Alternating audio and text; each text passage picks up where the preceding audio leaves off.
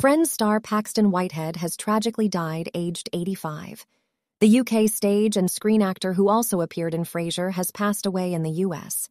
Whitehead is known for his role as Mr. Waltham, Rachel Geller's boss, in Friends.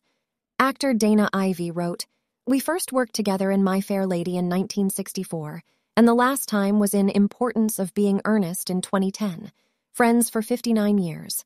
I loved him so. Heartbroken.